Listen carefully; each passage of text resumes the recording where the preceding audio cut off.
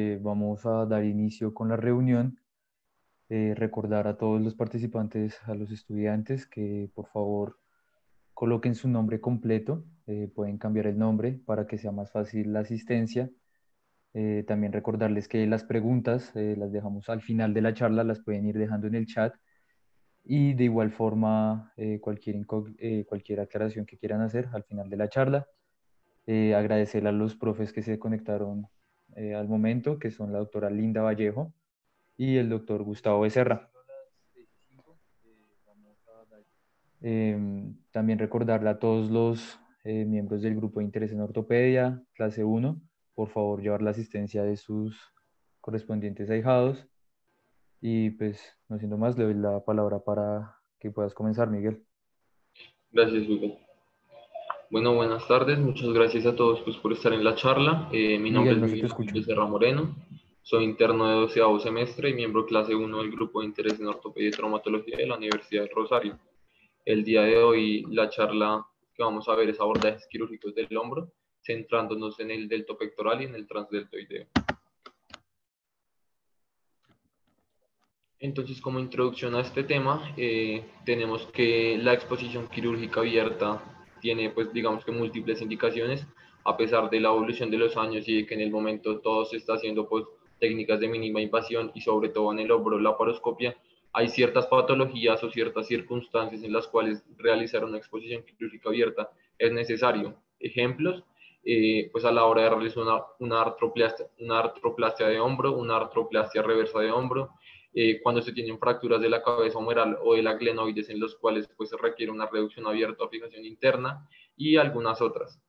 Es muy importante saber que este abordaje quirúrgico es desafiante y una de las causas es que tiene múltiples estructuras adyacentes a la articulación del hombro, entre las cuales podemos encontrar la musculatura del deltoides y el manguito rotador y múltiples estructuras vasculonerviosas como lo pueden ser el nervio axilar, el nervio músculo cutáneo, la arteria axilar, entre otras. Y al estar, digamos que en tanta cercanía con el abordaje que nosotros vamos a realizar, eh, pues a la hora de realizarlo es muy importante tener en cuenta, conocer la anatomía y evitar al, pues al máximo la lesión de estas.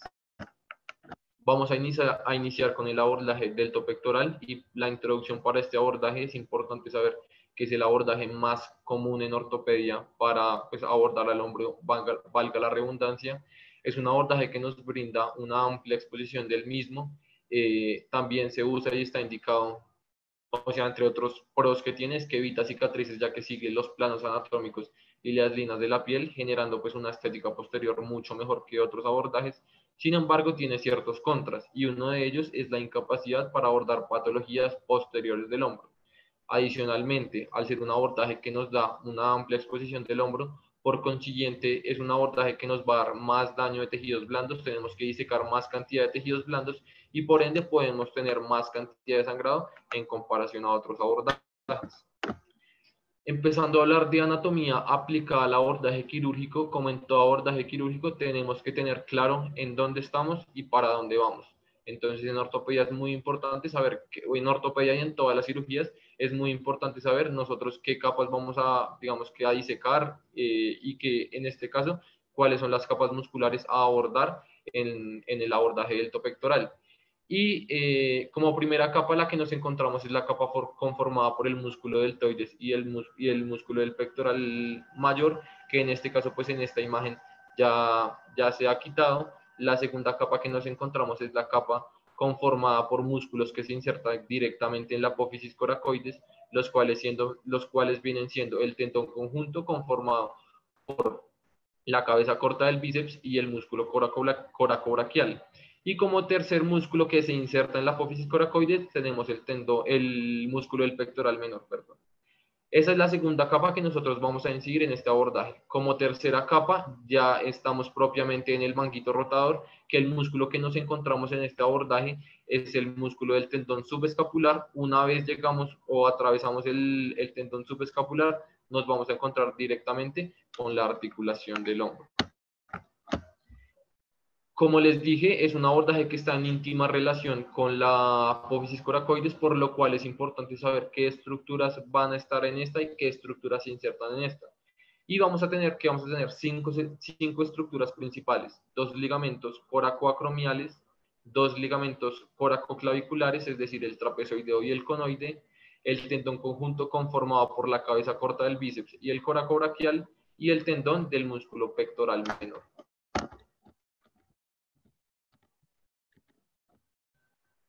En esta imagen lo que les quiero mostrar principalmente es el deltoides. Eh, nos vamos a dar cuenta que el deltoides está conformado por múltiples, fibras que están, eh, digamos que organizadas longitudinalmente. Adicionalmente tenemos el músculo del pectoral mayor, el cual va a estar superior o anterior a lo que es el tendón de la cabeza larga del bíceps y este mismo va a pasar por posterior al tendón del músculo subescapular para posteriormente insertarse en la porción superior del labrum glenoideo.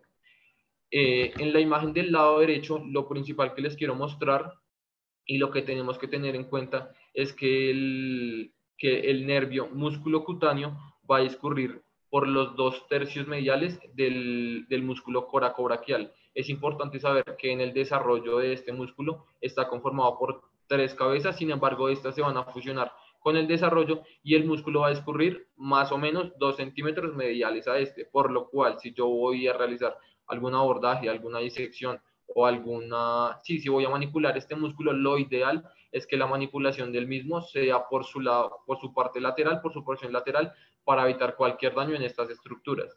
Adicionalmente, tenemos el músculo, el, el músculo pectoral, en este caso, la única indicación o la única importancia quirúrgica que tiene este, uno es que se inserta en la apófisis coracoides y por la, pues, por la intimidad que tenemos en este abordaje con la coracoides, pues es importante saberlo. Y por otro lado, es que por posterior a este músculo y por inferior a la coracoides van a discurrir todo el, pues va a discurrir todo el plejo braquial y todas sus arterias asociadas. En esta imagen lo que podemos ver pues son las estructuras que tenemos nosotros que tener cuidado, principalmente la vena cefálica como vamos a ver en las diapositivas posteriores y otro nervio súper importante en estos abordajes es el nervio axilar que va a estar más o menos entre 5 y 7 centímetros distales al, al, al, acromio perdón, eh, y va a discurrir por pues, medial entre el músculo entre el músculo deltoides y el húmero, por lo cual es importante saber. En esta otra imagen, lo más importante que les quiero mostrar es la cápsula articular. La cápsula articular es una cápsula laxa y redundante, eh, la cual, pues como lo vimos en, en, en exposiciones anteriores, tiene más o menos dos veces la superficie articular de la cabeza humeral.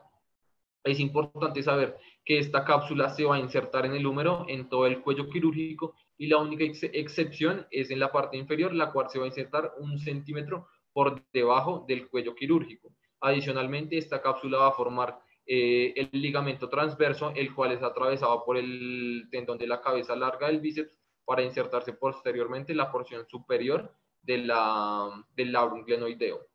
Y en esta otra foto es importante saber y reconocer que la membrana sinovial, adicionalmente pues, de recubrir toda la cavidad, va, digamos que a abrazar o a recubrir también el músculo, el tendón de la cabeza larga del bíceps, por lo cual podemos decir que sí, es un, un tendón intracapsular, pero es extrasinovial porque está recubierto por esta cápsula y es importante tenerlo en cuenta. Eh, en esta otra imagen, lo más importante y lo que tenemos que tener en cuenta es que el nervio axilar, como sabemos, eh, es el nervio que inerva el deltoides y es importante saber su recorrido. Eh, este va a discurrir eh, en estrecha relación con el, con el músculo subescapular y va a ingresar por el espacio cuadrangular. Una vez entra el espacio cuadrangular, se va a dividir en una rama posterior y una rama anterior. Una rama posterior que inerva el redondo menor, músculo del manguito rotador, y una rama anterior que, bueno, el, y la rama también posterior inerva todo lo que es la porción lateral, la porción sensitiva lateral del deltoides mientras que la rama anterior nos va a inervar motoramente el músculo deltoides. Como lo pueden ver en la entonces ya para hablar propiamente del abordaje, lo primero que tenemos que saber es la posición del paciente. Y para pues, este abordaje, eh, el paciente tiene que estar uno en decúbito supino con la cabecera elevada entre 30 y 45 grados y generalmente se usa un saco que se coloca entre la columna del paciente y el borde medial de la escápula. ¿Esto para qué? Para que por simple gravedad haya una apertura de la región anterior del hombro y pues para elevar el hombro y mayor comodidad para pues el trabajo del mismo. Adicionalmente es muy importante que en la mayor cantidad del tiempo quirúrgico el miembro superior esté en abducción, en, en aducción, o sea, en estrecha relación con el cuerpo.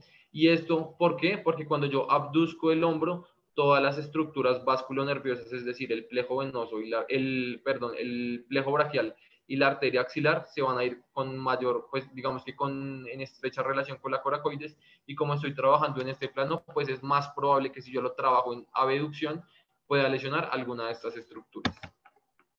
Entonces en esta foto pueden ver lo que generalmente es la posición del paciente para el abordaje, más o menos entre 30 y 45 grados. Acá es importante siempre tener cuidado con la cabeza del paciente. Lo ideal es que el paciente esté mirando hacia el lado contrario del hombro que se va a operar eh, y pues mucho cuidado con la cabeza del paciente. ¿Cuáles son los puntos de referencia que tenemos que tener para este abordaje? Importante, eh, la apófisis coracoides, el acromion y la, como tal, la diáfisis humeral. Es importante saber, como les dije, que más o menos entre 5 a 7 centímetros de la, de la, de la coracoides va a estar y va a discurrir el nervio axilar. Sin embargo, pues para este abordaje no es tan importante eso. ¿Cuál es la incisión que se va a realizar? Una incisión desde la apófisis coracoides que va a seguir todo el surco del delto pectoral de aproximadamente 10 a 15 centímetros. ¿Cuál es el plano internervioso que nosotros tenemos en esta incisión? Uno, eh, es importante saber que el plano internervioso va a estar entre el deltoides y el pectoral mayor. Y los músculos o los nervios asociados son el nervio axilar, el pectoral medial y el pectoral lateral. Nervio axilar que inerva el deltoides y los dos pectorales que inervan al pectoral mayor. Una vez nosotros incidimos la piel siguiendo todo el surco del delto pectoral, nos vamos a encontrar con la fascia que se encuentra sobre el deltoides. Generalmente esta fascia no es dividida entre deltoides y pectoral mayor, sino que es una fascia única y eh, por debajo de la fascia nos vamos a encontrar lo que es la nos vamos a encontrar lo que es la vena cefálica. Entonces, una vez nosotros entramos en la fascia, lo ideal es disecar la fascia con mucho cuidado para no llevarnos la vena cefálica. Sin embargo, como ven en esta imagen, generalmente la vena no va a discurrir digamos que por todo el surco del pectoral, sino que puede estar un poco lateralizada, por lo cual es muy importante tener mucho cuidado porque esta se debe conservar. Una vez nosotros disecamos la fascia, tenemos nuestra vena localizada, lo que vamos a hacer es llevarla hacia el lateral sin dar mucha tracción de esta, pues para evitar lesionarla. Una vez llegamos a este abordaje, ya hemos pasado la, primera capa muscular y lo siguiente que nos encontramos es la fascia clavipectoral vamos a decir la fascia, bueno, tenemos que identificar y separar la vena cefálica, lo ideal es conservarla. Eh, y como les dije previamente, el miembro superior tiene que estar en aducción para disminuir el riesgo de la disección de la arteria axilar. Una vez estamos en este paso, lo que vamos a hacer pues es disecar esta fascia clavipectoral eh, lateral al tendón conjunto. Entonces en esta foto vemos que se realiza la disección y una vez nosotros disecamos esta fascia, nos vamos a encontrar con la segunda y la tercera capa de nuestro abordaje. La segunda capa conformada por el tendón conjunto, es decir, el tendón del bíceps y el coracobraquial y el, pues, los músculos del manguito rotador, en este caso el subescapular. Aquí, dependiendo de la literatura y dependiendo de lo que nosotros vamos a hacer, tenemos como varios pasos a seguir o pues dos posibilidades importantes. La primera de ellas es realizar la desinserción y la osteotomía del tendón conjunto. Entonces lo que se realiza es una osteotomía del, del acromion para nosotros pues tener mayor amplitud en nuestro abordaje quirúrgico. Sin embargo, esta opción generalmente no se realiza porque lo que reporta la literatura es que puede cursar con no uniones o pseudoartrosis de, pues, del, de la osteosíntesis que posterior, posterior eh, realizamos, por lo cual no es ideal y lo ideal es únicamente nosotros lateralizar el músculo para evitar pues mayor morbilidad en el abordaje. Entonces lo que realizamos generalmente es desplazar hacia medial la cabeza corta del bíceps y el coracobraquial. En esta imagen lo que podemos ver es que se realizó la desinserción y la osteotomía del mismo y pues tenemos un abordaje quirúrgico mucho más amplio. Acá, como les digo, es muy importante mantener el miembro superior en aducción. Como podemos ver en esta foto, si yo abduzco el hombro, todo el plejo braquial va a estar en estrecha relación con la coracoides, por lo cual si yo realizo una osteotomía y una desinserción pues, de los músculos aquí localizados, mm, puedo generar una lesión del mismo. El nervio músculo cutáneo hay que saber, y es importante saber, que es el nervio más superficial del plejo braquial. Penetra más o menos 5 a 8 centímetros eh, distal a su inserción en la apófisis coracoides. Y también es importante saber que la segunda porción de la arteria axilar va a discurrir por este mismo, pues inferior a la coracoides, por debajo del pectoral menor. En esta imagen lo que podemos ver es que no se realizó la desinserción de los músculos, no se realizó la desinserción de la coracoides y lo que realizamos únicamente es una tracción hacia medial del tendón conjunto encontrando eh, pues el músculo, los músculos del manguito rotador, es decir, el tendón subescapular. Lo que hacemos es que realizamos una desinserción del, del perdón.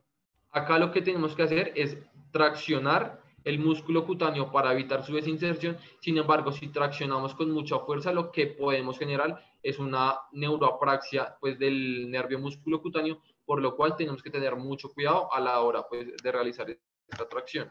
Ya para la exposición de la cápsula articular, es decir, la, pues, entrar como tal a la cápsula articular, tenemos como tres eh, posibilidades. La primera de ellas es la incisión entre el espacio, eh, entre los manguitos, entre el manguito rotador. La segunda de ellas es la apertura mediante un foco de fractura. En este caso, el paciente tiene que tener una fractura de la tuberosidad menor y lo que nosotros vamos a hacer es una osteosíntesis eh, por lo cual si tiene la fractura podemos ingresar por el mismo foco de fractura. Y la tercera es una tenotomía del tendón subescapular.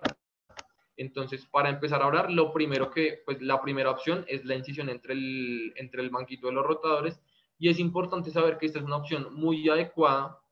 Eh, es una opción que genera poca morbilidad porque nosotros no estamos eh, entrando directamente por el músculo, sino que estamos entrando superior a este. ¿Cuál es la localización o el punto de referencia que tenemos que tener? Eh, que el músculo subescapular, para nosotros ingresar, tenemos que estar inmediatamente inferior al tendón de la cabeza larga del bíceps. Ese es el punto de la incisión que nosotros vamos a realizar para evitar la pues, mayor mortalidad y para tener un adecuado abordaje quirúrgico. Eh, tenemos que identificar el borde superior del tendón subescapular y por este vamos a ingresar. Es importante saber que esta ventana nos da una buena visibilidad antero-superior de la cabeza humeral, pero no nos da tan buena visibilidad para el resto de las estructuras. La segunda opción es si tenemos un foco de fractura de la tuberosidad menor, podemos ingresar por el foco de fractura. Y lo que, vamos a lo que vamos a hacer es que vamos a ingresar entre la tuberosidad mayor y la tuberosidad menor, pero vamos a entrar y vamos a disecar propiamente el músculo. Es importante que la disección sea muy medial por el músculo, porque si nos vamos muy lateral, o sea, muy anterior o muy posterior, para la reinserción del músculo no va a ser suficiente, eh, por lo cual lo ideal es que la, la, disección del mismo sea pues por toda la mitad del músculo.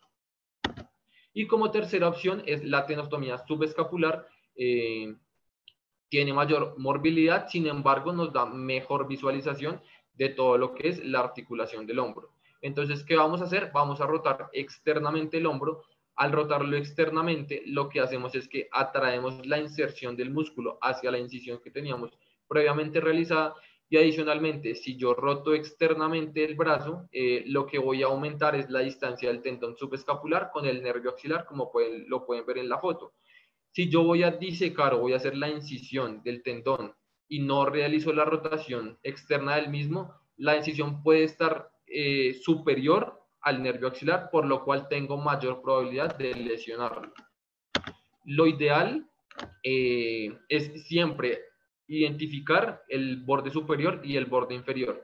El borde superior no es tan fácilmente identificable porque puede unirse con los demás músculos de los manguitos rotadores. Sin embargo, el borde inferior tenemos una estructura anatómica que nos puede guiar y nos puede ayudar a saber cuál es esta y tiene como epónimo las tres hermanas, conformadas por la arteria circunflejomeral anterior, una vena superior y una vena inferior. Este es nuestro límite del borde inferior. Una vez encontramos el límite del borde inferior, ingresamos algún objeto romo, en, este, pues en esta imagen una Rochester, y sobre la misma realizamos la, la tenotomía del subescapular. Es importante realizarla entre 1 y 2.5 centímetros de la inserción en la cabeza humeral. ¿Esto para qué? Para posteriormente tener tejido suficiente para poder reinsertarla. Entonces, en esta foto lo que pueden ver pues es la, incisión como tal del, tendón del subescapular. Y una vez incidimos el tendón subescapular, nos vamos a encontrar con la cápsula articular. La cápsula articular la vamos a disecar más o menos entre 1 y 4 centímetros, pues para tener una adecuada visualización. Y sobre esta ya vamos a entrar directamente a la, a la articulación del hombro y vamos a, pues, a encontrar el hueso. En esta imagen eh, no es el abordaje quirúrgico que nosotros realizamos, sin embargo, pues es importante saber y poder, digamos que entender un poco cuál es la anatomía normal. Entonces, en este caso, y lo que podemos ver es la A, es el, el tendón del, del, bíceps, la D es el tendón del subescapular, la C es la, perdón, la, la C es la, el subescapular, la E es el tendón del pectoral mayor.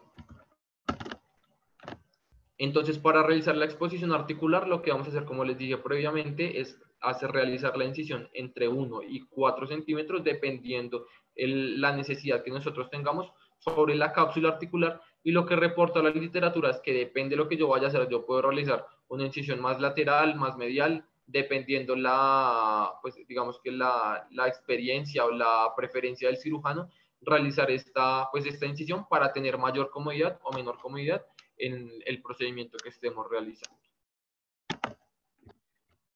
Este abordaje quirúrgico tiene únicamente una ampliación hacia proximal, hacia distal es imposible realizar la ampliación por pues, las estructuras vasculonerviosas que tenemos, principalmente el nervio axilar. Entonces, la ampliación quirúrgica lo que vamos a realizar es llevarla hacia superior lo que esté indicado y la técnica es trazar la línea o trazar la, la disección desde la apófisis coracoides hacia el tercio medio de la clavícula, hacemos la osteotomía de la misma para tener toda la visualización pues, de las estructuras allí contenidas. Sin embargo, es muy importante tener mucho cuidado con qué, con la vena subclavia, la arteria subclavia, eh, principalmente esas dos estructuras. Pero este, pues, esta ampliación no está tan recomendada por la morbilidad con la que, pues, que se realiza. Y ya por último, pues tenemos el cierre de la herida, eh, reinsertamos los músculos, cerramos la herida, irrigamos con solución, con solución salina, lo que tenemos a la mano, y podemos considerar la colocación de un drenaje subdeltoideo, pues para drenar y que el paciente pues tenga mayor comodidad en el posoperatorio, tenga menor dolor eh, y pues no se vayan a hacer colecciones subdeltoideas. Ya terminamos de hablar del, eh, pues vamos a pasar a hablar al, al, abordaje transdeltoideo y en el abordaje transdeltoideo tenemos como dos opciones. Una, realizarlo anterolateral y la segunda, realizarlo lateral. Esto depende mucho de qué patologías vayamos a tratar y de qué, o sea, la necesidad del cirujano. Entonces, tenemos que la, el, pues el abordaje anterolateral nos da una adecuada exposición de la articulación, uno acromioclavicular, dos del ligamento coracrocomial y tres del tendón del supraespinoso. Entonces, si yo voy a trabajar sobre alguna de estas estructuras, pues está indicado realizar este abordaje. ¿En qué otras circunstancias los puedo realizar? En una descompresión arterial del hombro, si lo único que necesito es descomprimirlo. Segundo, una reparación del manguito rotador, principalmente el supraespinoso. Tercero, reparación y estabilización de la cabeza larga del bíceps. Y cuarto, alguna resección de esteofitos en la articulación acromioclavicular mientras que el abordaje lateral nos da un acceso limitado a la cabeza y un acceso limitado a la cabeza y el cuello quirúrgico del húmero, es decir, si yo tengo una fractura de la cabeza humeral o del cuello quirúrgico del húmero, es ideal realizar este abordaje. Es importante saber que no es ampliable hacia distal por lo mismo que vimos en, la, pues en el abordaje pasado, por la estrecha relación que tenemos con el nervio axilar. Indicaciones para realizarlo, fracturas de, la tuberosidad mayor del húmero, fracturas del cuello del húmero, resección de, alguna bursa en el caso que esté indicado, reparación del manguito rotador y reparación del supraespinoso también está contemplado. Vamos a hablar de anatomía aplicada al abordaje quirúrgico. Es básicamente la misma anatomía que vimos al inicio de la presentación. Sin embargo, eh, es importante saber que en este abordaje únicamente vamos a incidir dos planos musculares. El primero de ellos es la porción lateral del músculo deltoides y el segundo es propiamente el vaquito rotador, es decir, el tendón del supraespino. Es importante saber que en este abordaje no vamos a tener eh, un plano internervioso porque únicamente estamos trabajando sobre el deltoides, es decir, el nervio axilar. Lo que quiero que vean en esta foto principalmente es que el, deltoides tiene, pues está conformado por varios vientres musculares, eh, los cuales se van a unir para insertarse. Pues digamos que tiene varias inserciones. Eh, el origen de este músculo es una porción en, lo, en el tercio lateral de la clavícula, otra porción en el acromion y otra porción en la parte posterior, es decir, en la espina de la escápula. Y se inserta directamente en la tuberosidad en la tuberosidad deltoidea del húmero en su porción diaficial. Tenemos que saber que a pesar de que solo tengamos dos planos musculares, nos vamos a encontrar con la, bursa, con la bursa subacromial, que pues es de bastante extensión. Eh, lo que reporta la literatura es que más o menos ocupa dos tercios de todo lo que es el deltoides y va hasta posterior de la apófisis coracoides. Adicionalmente tenemos bursa en la región, en la cabeza larga del bíceps y es importante saber que esta bursa no está en relación propiamente dicha con la articulación. La única, o sea, lo único que realiza esta bursa es permitir el deslizamiento y la adecuada movilidad de las estructuras adyacentes. Sin embargo, si yo tengo una ruptura de alguna de las estructuras, principalmente una ruptura del supraespinoso, yo puedo o sea, lo que puede suceder es que esta bursa ingrese propiamente a la articulación del hombro y pueda tener a la hora de ingresar al abordaje quirúrgico, pues tejido de la bursa directamente en la articulación, pero generalmente no es lo que se encuentra. ¿Cuáles son los puntos de referencia e incisiones para el abordaje anterolateral? Tenemos que tener en cuenta la apófisis coracoides y el acromion y vamos a realizar la incisión entre estas dos estructuras entre la parte lateral de la, de la apófisis coracoides hasta la porción anterior del acromio. Pues disecamos piel, tejido celular subcutáneo y nos vamos a encontrar con las fibras eh, del deltoides. Con las fibras del deltoides, lo ideal es realizar, eh, eh, pues, pues coagular los vasos sanguíneos, controlar todo el sangrado, seccionar la fascia deltoidea e identificar la articulación acromioclavicular nosotros vamos a realizar la disección o el abordaje del deltoides dependiendo de la patología que vayamos a realizar. Si únicamente lo que buscamos es descomprimir el hombro lo que, y no vamos a acceder al maquituelo rotador, podemos hacer una exposición de alrededor de un centímetro desde la porción anterior del acromion, controlar la, la hemorragia, pero no vamos a desinsertar más de lo estrictamente necesario el deltoides. Es decir, si yo lo único que busco es descomprimir el hombro, con una incisión entre 1 y 2 centímetros es más que suficiente, no voy a hacer absolutamente nada, nada más. Sin embargo, si lo que yo busco es ingresar propiamente a la articulación del hombro, si yo voy a realizar una reparación del manquito de los rotadores, pues necesito tener una mejor exposición de todas las estructuras adyacentes. Lo que voy a realizar es una incisión deltoidea desde la articulación acromioclavicular hasta 5 centímetros distales. Voy a desinsertar las fibras del deltoides desde anterior hacia posterior, es decir, desde la clavícula, dependiendo de lo que yo necesite.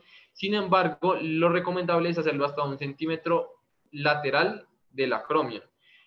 Eh, está recomendado colocar una sutura tope en esta, pues cuando yo realice la, la, incisión para que el músculo no se siga desgarrando por la incisión inicial que nosotros realizamos. ¿Y esto para qué? Para evitar la lesión del nervio axilar, como lo vamos a ver más adelante en las diapositivas. Una vez, eh, pues una vez incidimos el deltoides, lo que vamos a realizar es la desinserción del ligamento coracoacromial junto con un fragmento óseo. Es recomendable realizarlo junto con un fragmento óseo para posteriormente insertarlo y que pues tenga una adecuada evolución posoperatoria. Exponer el tendón del supraespinoso como lo vemos en la imagen y la bursa subacromial adyacente. Y eh, como les dije, podemos realizar rotación externa, en este caso para exponer la cabeza larga del bíceps en el interior del surco. Una vez nosotros eh, pues estamos en esta capa muscular, lo que nos vamos a encontrar directamente es con la cabeza humeral y con el tendón del supraespinoso. En algunos, eh, pues en algunos abordajes, y dependiendo la, lo amplio que yo realice mi abordaje, me puedo encontrar el tendón del infraespinoso adicionalmente. Y acá lo importante en esta foto es que tenemos que saber que el nervio axilar discurre entre 7 centímetros inferior al acromion, por lo cual el abordaje recomendable es realizar una incisión máxima de 5 centímetros desde el acromion. Y esta es la misma explicación por lo cual es recomendable poner la sutura a tope. Si yo realizo mi incisión 5 centímetros, pero el músculo se desgarra porque yo tracciono mucho o por pues, las múltiples intervenciones que realizo, puedo desgarrar el músculo y llevarme el nervio axilar. Entonces, es recomendable poner la sutura a tope. Adicionalmente, eh, pues como les dije, la ampliación de este abordaje al no tener planos internerviosos no, es, pues, no está indicada porque eh, pues en el, en, el, en el, caso de que yo vaya a hacer una, una, ampliación del abordaje hacia inferior, pues es imposible. Más, más adelante vamos a ver que hacia superior se puede realizar, pero también es bastante mórbido. ¿Qué estructuras tenemos que tener en cuenta en este abordaje?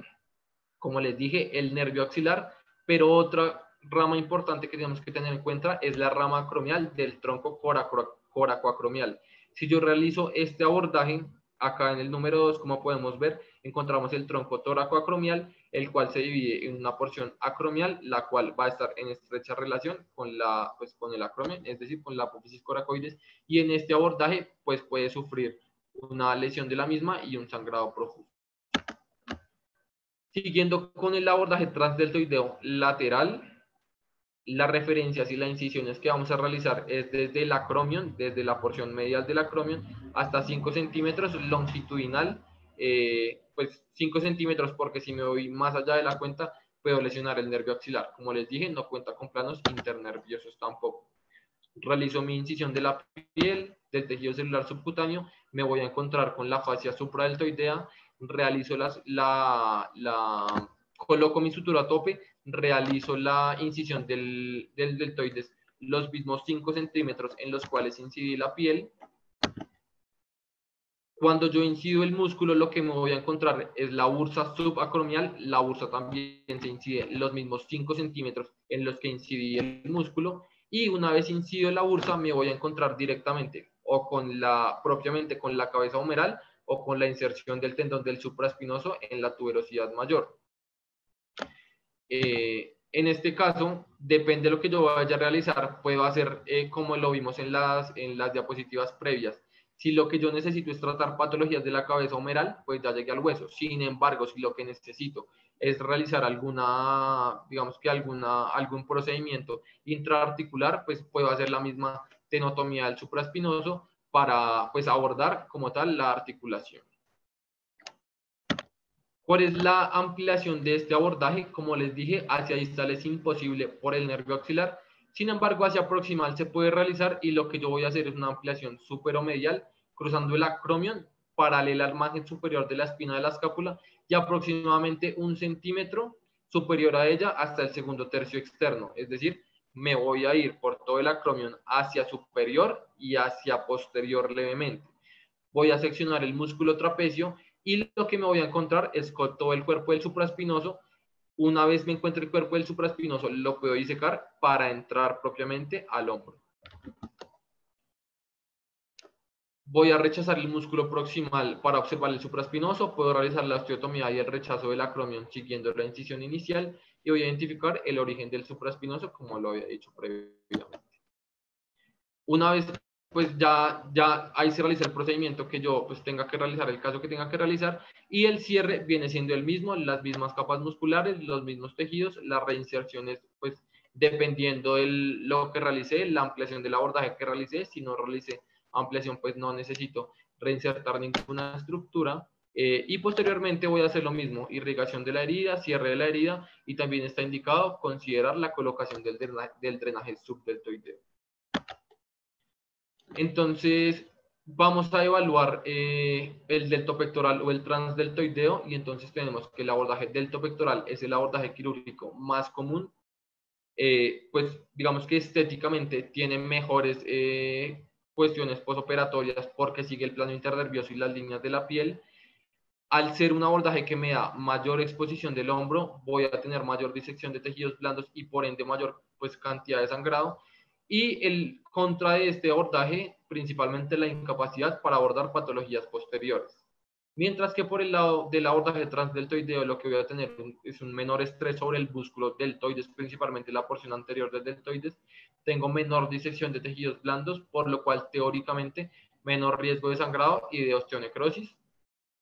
Tengo exposición directa a la tuberosidad mayor y yo voy, yo voy a pues, realizar una artroplastia de hombro. Es, el, un abordaje indicado porque tiene menores tasas de inestabilidad y menores tasas de osteonecrosis y todo lo que tiene que ver, tiene menores tasas de complicaciones postoperatorias.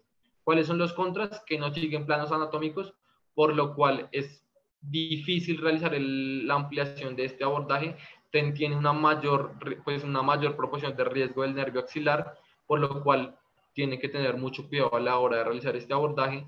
Limitación para observar la glenoides inferior, como vimos, son patologías que se, se realiza el abordaje para tratar patologías únicamente la cabeza humeral, del cuello del húmero y propiamente de la articulación, pero ingresando desde, desde la parte superior de la misma.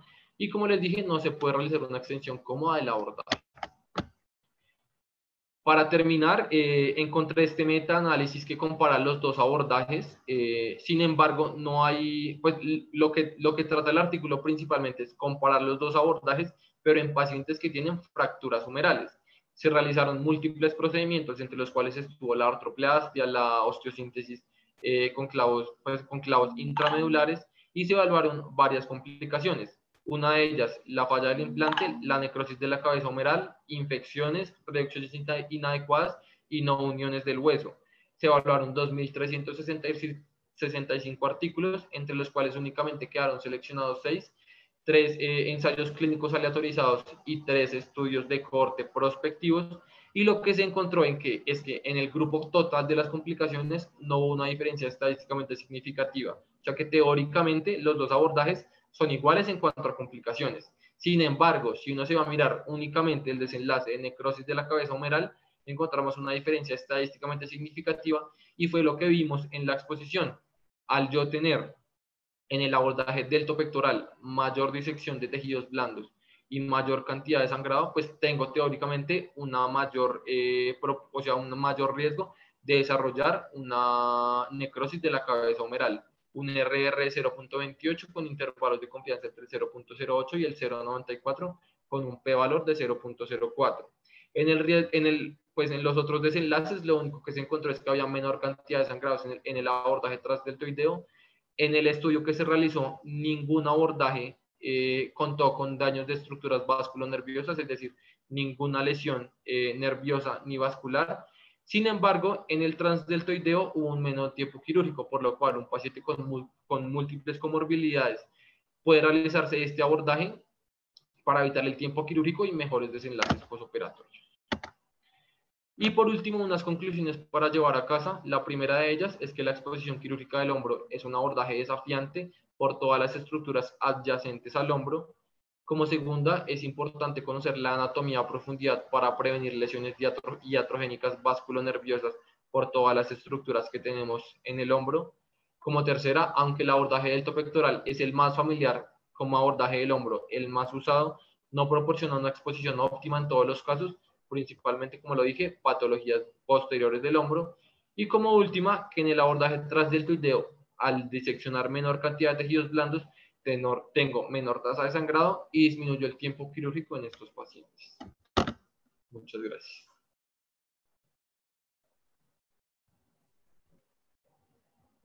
Muchas gracias. Eh, gracias por tu charla. Bueno, antes eh, de continuar con las actividades, pues primero que todo recordar a todas las personas que están participando en la charla, pueden poner sus preguntas o si, pues, si tienen algún aporte a la charla, lo pueden hacer a través del chat. Eh, vamos a dar un tiempo para que pues lleguen preguntas, por el momento no las hay, pero entonces vamos a dar paso pues a, las, a los apuntes o a los comentarios de los profes. Entonces, eh, profe Becerra, eh, ¿alguna opinión? sobre la charla. Dejemos que empiece la doctora Linda, primero las mujeres, Hugo. Sí, señor. Doctora Linda Vallejo. Sí, gracias. Pues bueno, me, me, gustó la charla, ah, un muy buen recordarles de la anatomía. Eh, realmente son, digamos que, eh, gran proporción de los procedimientos en trauma que se hacen en el extremo proximal del húmero los abordamos por cualquiera de estos dos abordajes. En particular, me gusta en eh, cuando hago osteosíntesis de fracturas complejas, incluso utilizar los dos. Eh, porque me permite eh, no tener que estresar en extremo las partes blandas al manipularlas, de manera que este par de abordajes son bastante útiles, eh, incluso para operaciones, digamos, entre comillas, no tan complejas como una artrotomía en el manejo de una infección, que es lo que ustedes, por ejemplo, podrían tener a la mano. Es un abordaje que es muy útil, de manera que... Eh, conociéndolos y conociendo la anatomía eh, que, se maneja en todos los planos de estos abordajes, pues es una eh, ayuda, digamos, que puede ser útil en la gran mayoría de las necesidades que tengamos de manejo en trauma en el número proximal. Ok, muchas gracias, doctora. El doctor Gustavo Becerra. Sí, buenas tardes a todos nuevamente creo que eh, Miguel escogió pues los dos abordajes, como dice Linda, más utilizados en las patologías, diferentes patologías del hombro. Yo diría que el abordaje del pectoral es el caballito de batalla que más se utiliza para las diferentes patologías, mucho más que el abordaje tras deltoideo. Eh, creo que es importante que conozcan la anatomía quirúrgica y los diferentes planos como los describió Miguel, porque habrá algunas patologías, ya lo mencionó también Linda, como las artritis piógenas, que son una emergencia, y ustedes podrían drenarla a través de un abordaje del todo pectoral. Pero para ello necesitan conocer cómo es la anatomía quirúrgica, cuáles son los riesgos y cómo eh, ir desde la piel hasta la articulación sin causar daños a la a las estructuras vasculares y nerviosas. Entonces creo que ese abordaje del topectoral es el caballito de batalla para, para la mayoría de, de, patologías del hombro. Eh, sí, los abordajes, las patologías posteriores no, no, se pueden, no se puede llegar a ellas por un abordaje del topectoral y tampoco por uno tras del toideo que es un poco más limitado pero es que también las patologías posteriores a las que ustedes van a estar enfrentados son mucho más raras. Las luxaciones posteriores invertebradas del hombro, o las fracturas del cuello de la glenoides, o de la, o de la escápula. Eh, y seguramente a esas patologías, pues ustedes no van a necesitar intervenirlas, sino las van a remitir. Pero eh, para algunas patologías que se les pueden presentar como médicos generales, eh, repito, como la artritis piógena, pues el caballito de batalla sigue siendo el, el abordaje del top pectoral. Eh, una recomendación, Miguel, eh, en, cirugía mínimamente invasiva ortopédica, no hablamos de la cirugía laparoscópica, sino de cirugía artroscópica o endoscópica, para que no tengas ese lapsus. De resto creo que pues estuvo bien escogido el, el tema para, para irse adentrando un poco más en las patologías del hombro. Listo, muchas gracias doctores. Eh, tenemos una pregunta.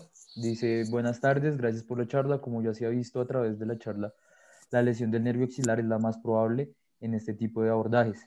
Si por algún motivo se secciona este nervio durante la cirugía, ¿hay posibilidad de restablecer la función sensitiva o motora del mismo? Y si es así, ¿cuánto tiempo se demoraría en restablecer esta función. No sé si la doctora Linda Vallejo nos quiere contar o nos quiere ayudar con esta pregunta. Pues bueno, eh, haciendo la salvedad de que eh, no es fácil observar el nervio en ninguno de los dos abordajes a menos que sean suficientemente amplios. En el abordaje transdeltoideo sí se puede palpar. Eh, no es sencillo lesionarlo. Quiero decir, el, trato de las partes blandas debe ser ah, muy poco considerado, por utilizar una palabra amable, como para que uno termine lesionando el nervio. La mayoría de lesiones que ocurren inicialmente eh, son neuropraxias por la tracción, porque uno con el separador lo, eh, lo tocó, lo pisó, lo presionó. Y ese tipo de lesiones normalmente recuperan hasta en el plazo de un año. No obstante, durante el tiempo que el paciente presenta de convalecencia, digamos, entonces va a presentar los signos clásicos de la lesión del nervio axilar, que son algo de hipotrofia en el músculo deltoides, la eh, hipoestesia, en la, en, la, en, la, cara lateral del hombro y la debilidad para hacer la abducción hasta los 90 grados. Entonces, em, cuando hacemos el diagnóstico clínico de esta lesión del nervio axilar, es necesario iniciar una rehabilitación inmediata para no perder tanta masa muscular ni arco de movimiento. Si la lesión es más severa, por ejemplo, una sección neurológica o una tracción hasta que el nervio se, se rompe, porque digamos que sección podría sonar un poco benigno y realmente es una lesión severa, esas son muy difíciles de recuperar. Ah, no me he encontrado con esa situación. Em, creería yo que eh, en ese caso se requiere el concurso de otra especialidad como la cirugía, el cirujano de la mano que maneja eh, lesiones de plejo braquial, y nos podría ayudar. Normalmente con estas lesiones cuando ya, cuando ya se hace su diagnóstico en, el, en, la, en, la, en, la, evolución, en la cronicidad de la evolución, lo que se hace son suplir las deficiencias musculares haciendo transferencias de otras zonas, pero eso ya es otro campo distinto, un poco más complejo. Pero digamos que en el contexto del abordaje, que ocurrió una lesión como una neuroapraxia, que es la menos severa, se espera que se recupere casi en su totalidad en el plazo de un año y se debe empezar a rehabilitar inmediatamente se diagnostica. ¿Cómo le diagnostica uno? Pues ustedes ya conocen el examen físico, la abducción y la, y la hipoestesia en la cara lateral del hombro. Y en ese caso es muy importante eh, tener presente que si vamos a examinar al paciente en el segundo día posoperatorio, seguramente el solo dolor no le permite hacer abducción o si se le hizo un bloqueo, no sea fácil hacer la evaluación neurológica. Pero seguramente en su primer control posoperatorio, a los 5 o 8 días, probablemente uno ya tenga herramientas clínicas suficientes para hacer el diagnóstico de la lesión y en ese caso empezar tempranamente la rehabilitación. Muchas gracias, doctora. El doctor Gustavo Serrada. Sí, eh, de acuerdo. Yo creo que las lesiones, la sección del, del, del, axilar durante el abordaje quirúrgico, yo diría que es rara. Y si uno es, hace un, abordaje muy depurado, teniendo en cuenta todos los reparos anatómicos, sabiendo por dónde transcurre el nervio, cuáles son los riesgos al extender la incisión y todo, pues creo que eh, las lesiones son muy raras. Podrá haber eh, como ya lo dijo Linda, por la separación enérgica de, de los tejidos blandos y esas neuroapraxias generalmente recuperan. Pero creo que hay que tener muy claro cómo es, el, cómo es la anatomía y cuáles son los puntos de referencia para no eh, tener esa desagradable complicación. Listo, muchas gracias, doctores. Eh, tenemos otra pregunta. Nos dicen, buenas noches, ¿alguno de los abordajes tiene menor tiempo por medio de recuperación posoperatoria? La doctora Linda Vallejo. Definitivamente el abordaje menos amplio tiene, más, eh, tiene menos tiempo de recuperación. Eh, uno puede hacer un abordaje delto pectoral pequeño o también puede hacer un transdeltoideo muy grande. Pero digamos que tradicionalmente ampliamos mucho más eh, el abordaje delto pectoral y en ese orden de ideas, pues ese tendría más tiempo de recuperación. Eh, en cuanto a manipulación, probablemente se haga mayor manipulación de las partes blandas en el delto pectoral y en ese orden de ideas también tendría más tiempo de rehabilitación, de recuperación. Entonces diría yo que el que más rápidamente podría recuperarse porque es menos amplio y quizás se tenga menos manipulación de las partes blandas sería el transdeltoideo. Yo no creo que, las, que, las, eh, que, el tiempo de recuperación dependa exclusivamente del abordaje. Creo que depende principalmente de la patología que uno esté tratando.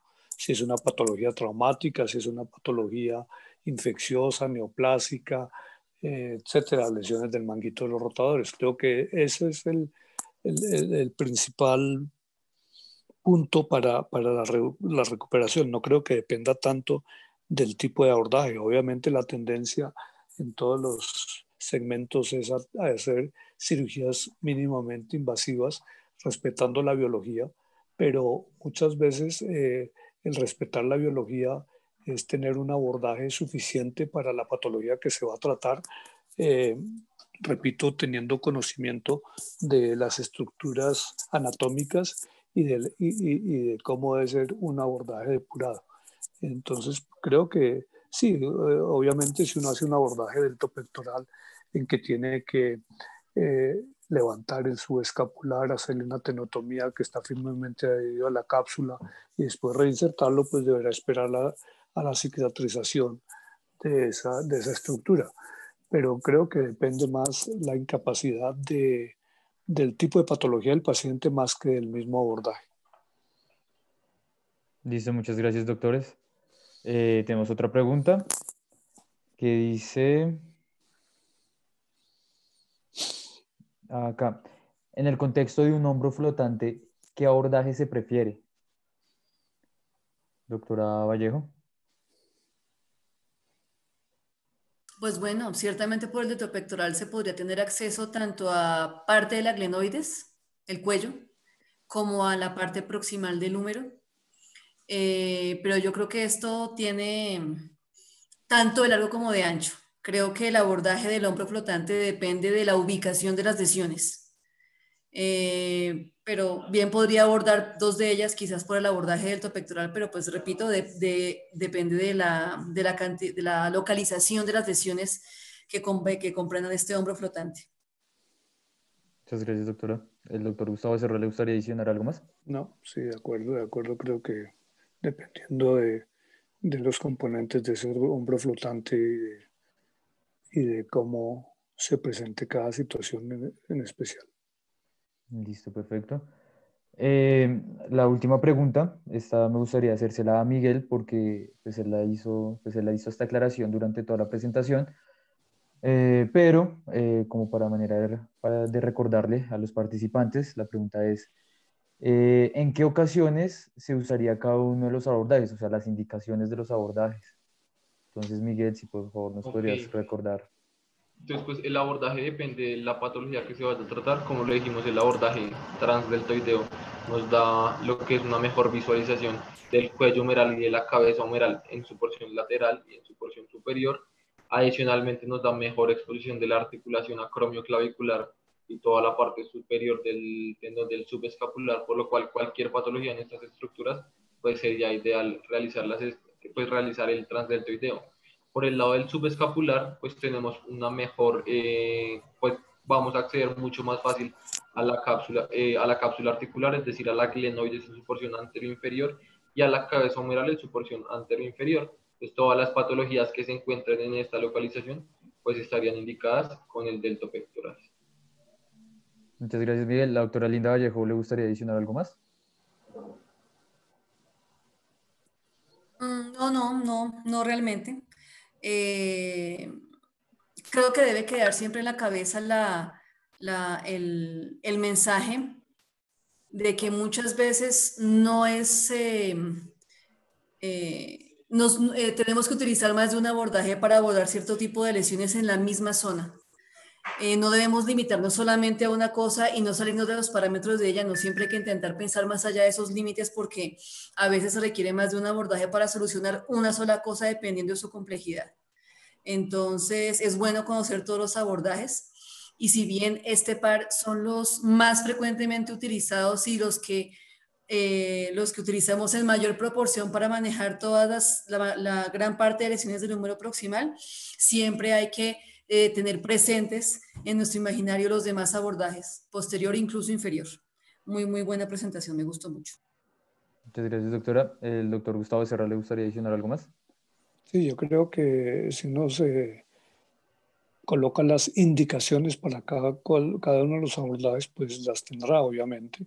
Creo que el abordaje tras del toideo es más limitado y lo puede utilizar uno primordialmente para las reparaciones del manguito de los rotadores y para algunas fracturas del, de la tuberosidad mayor de la, del, húmero.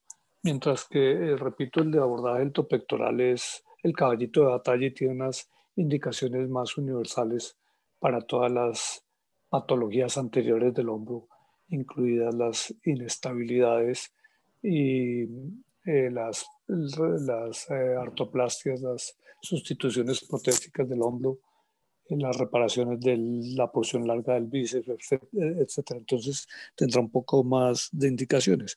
Pero creo que lo importante, como dijo Linda, es eh, tener identificada la patología para poder determinar cuál es el abordaje que a emplear para solucionarla sin desconocer los otros tipos de abordajes, el posterior, el inferior o los portales de abordajes artroscópicos.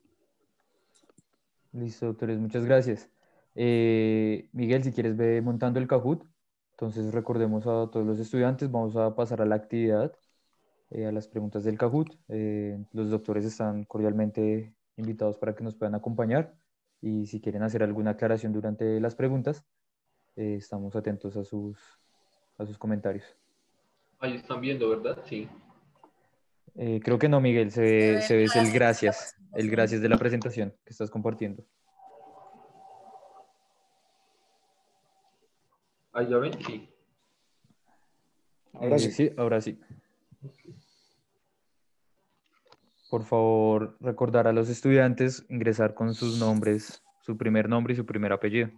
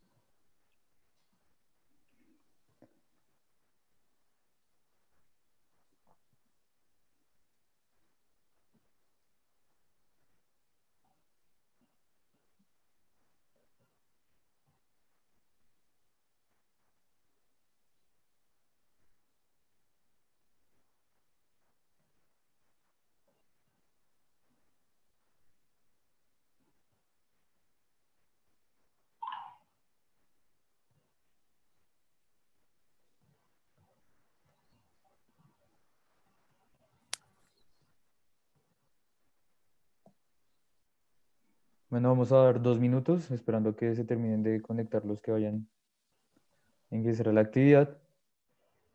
Y iniciamos con las preguntas.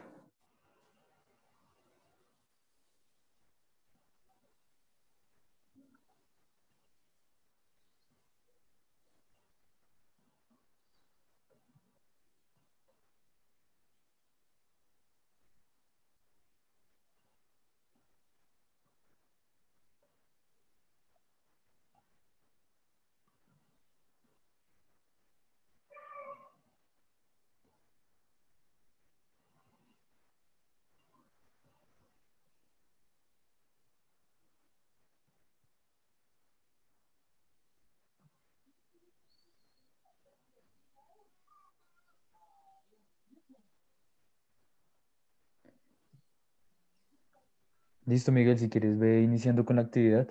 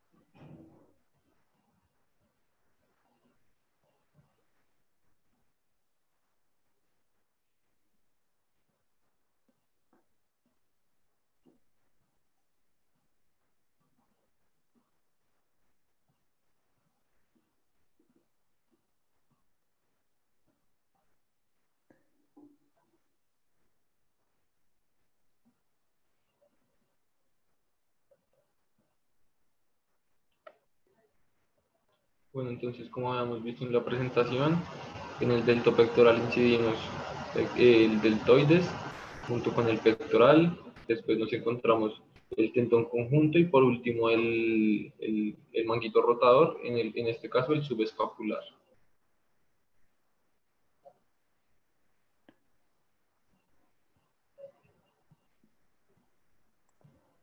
En el abordaje transdeltoideo, ¿cuántas capas musculares se inciden para llegar a la articulación del hombro?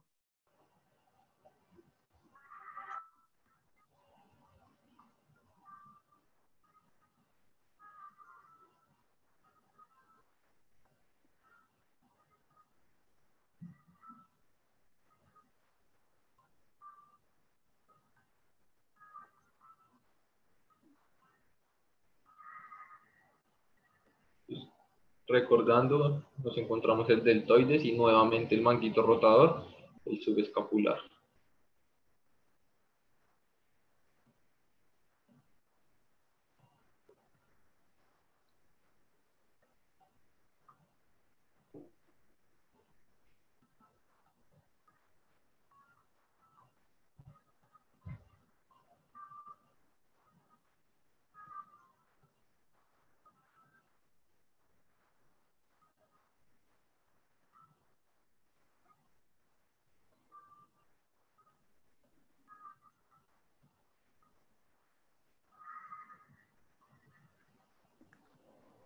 Deltoides está inervado por el axilar. Lo que tenemos que evitar en este abordaje transdeltoideo lesionar el nervio axilar.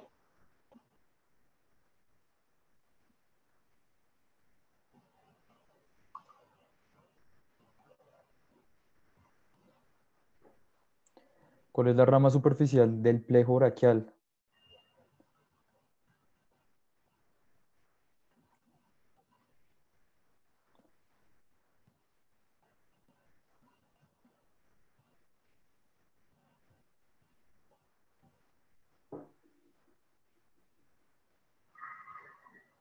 Perfecto, la rama más superficial es el músculo cutáneo, la mayoría de los que bien.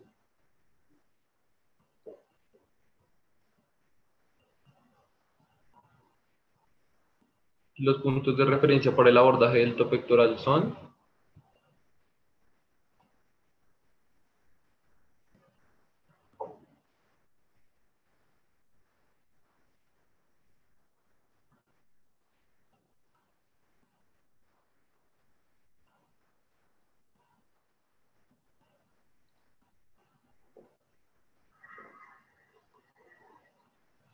Perfecto, entonces lo que vamos a hacer es identificar la coracoides y vamos a seguir el surco del pectoral, ingresando por el mismo para este abordaje.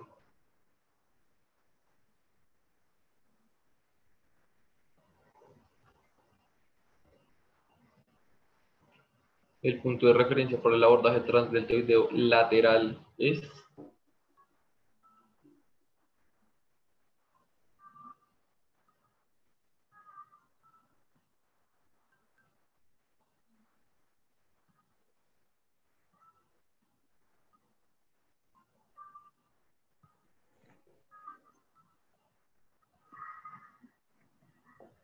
Exactamente.